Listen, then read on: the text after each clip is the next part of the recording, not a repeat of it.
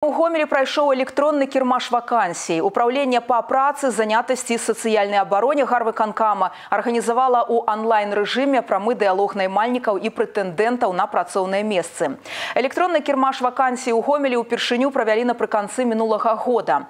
На гэты раз наймальнікі прапанавалі каля 60 вакансій. На жаль, некаторыя прадпрыемствы не здолелі зайсці ў сістэму. Гэтую патребу паабяцалі вырашыць да наступнага электроннага кірмашу. Увогуле зараз у цэнтры занятасці афіцыйна зарэгістраваныя 307 беспрацоўных. Толькі за мінулы тыдзень працаўладкаваныя 44 чалавекі, 12 накіраваныя на перанавучанне. Сярод найбольш запатрабаваных прафесій вадзіцель тралейбуса, повар, прадавец, цырульнік, тынкоўшчык, маляр, абліцоўшчык, плітачнік.